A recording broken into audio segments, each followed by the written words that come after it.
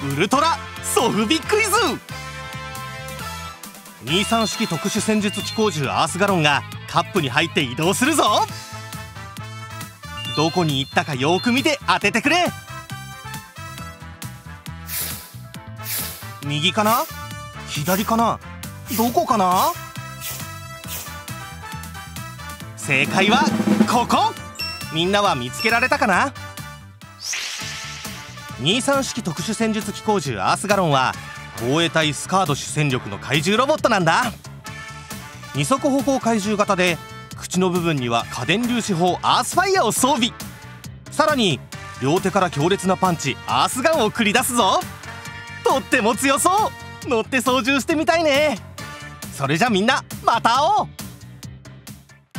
う。ウルトラソフビクイズ。深海怪獣ゲイドスの体のどこかが変化していくぞ。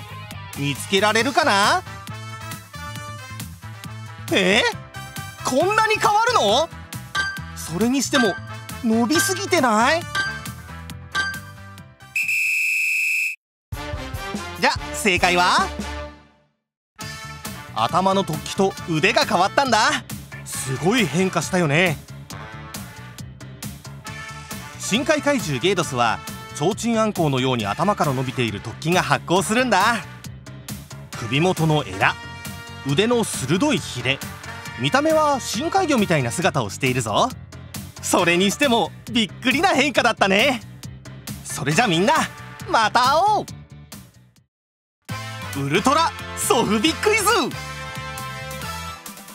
体のパーツをヒントに怪獣の名前を当てよう。真っ黒な甲冑をまとったような体をしている怪獣だ。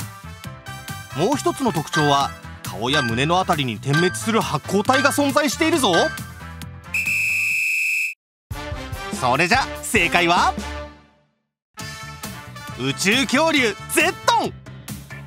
武器は腕からの波状光線や顔面から放たれる一丁度もある火球。そして何といってもテレポート能力も兼ね備える強力な怪獣なんだ。いきなり出くわしたくないよね。ウルトラソフビクイズ。写真のどこかに宇宙ロボットキングジョーが隠れているぞ。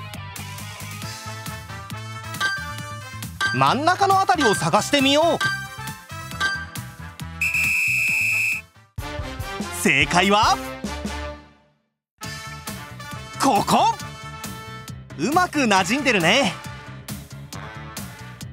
宇宙ロボットキング・ジョーは4機の宇宙船に分離合体することができるスーパーロボット。両目から放つ破壊光線には要注意。鋼鉄をも溶かす高熱なんだ。よく見ると愛くるしい顔をしているね。それじゃまた会おう。